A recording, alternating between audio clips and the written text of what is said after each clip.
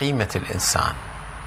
قيمة الإنسان في صفات معينة أهم تلك الصفات أهم نعم. تلك الصفات في الإنسان أن يستشعر بالآخر.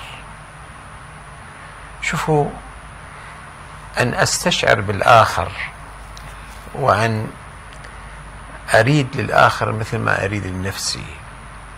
وأكره للآخر مثل ما أكره لنفسي هي هذه السمو. سمو وعظمة في الإنسان. لو لو نعم. كل واحد يملك هذه الروحية وهذه الصفة صدقني لعاشت البشرية شنو؟ بخير وسلام. خير وسلام. لا حرب لا قتل لا ذبيح نعم.